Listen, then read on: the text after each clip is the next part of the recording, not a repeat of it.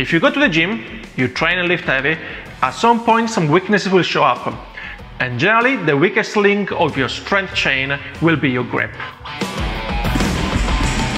Poor grip strength can be a sign of muscle shrinking, and it is caused by disuse of the hands and fingers, thanks to the nowadays lifestyle. Grip strength is essential when you lift weights.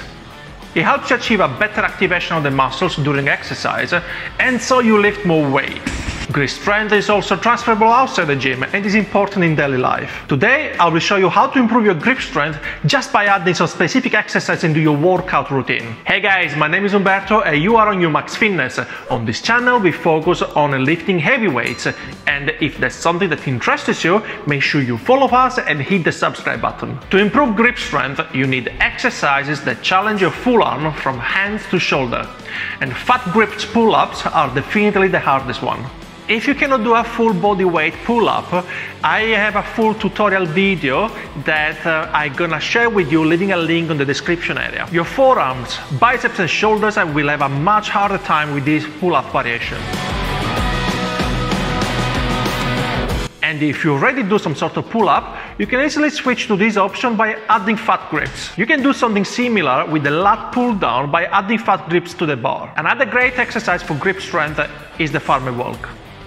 This is a much more dynamic option and you will need some space for that.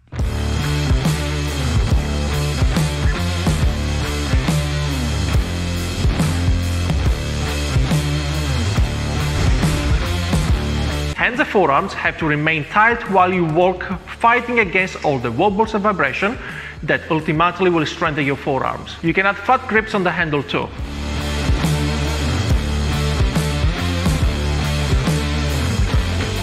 As you move, traps have to be holding the shoulders back and biceps need to help you with the grip. At the moment, we only had a look at two compound exercises to help you with your grip strength. Now we're gonna move more to the specifics. To improve your grip strength, you need some sort of twisting exercise and some sort of pinching exercise. For the twisting, I generally go for two. The first one is the barbell grip and twist, and the second one is the club twist. The first one it's easy to set up uh, and you can go for a lot of options. With a band and some weight on the barbell,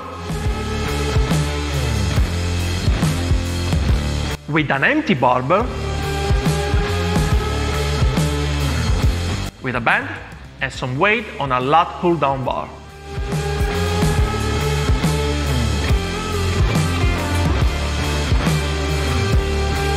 And make sure that you twist and work on both ways. Club twists are super easy and you can superset them with some other exercise so you don't take much time. I like to add them to rope bicep curls and guess what? You can add fat grips on those too. For the pinching part, I use uh, the sandwich or the dumbbells hold. For the sandwich, you basically take two plates from two and a half to five kilos weight and put some filling within them. You can hold them stationary or you can walk with them to make it harder. For the dumbbells hold, well, you basically hold the dumbbell from the head part eh, and do the same.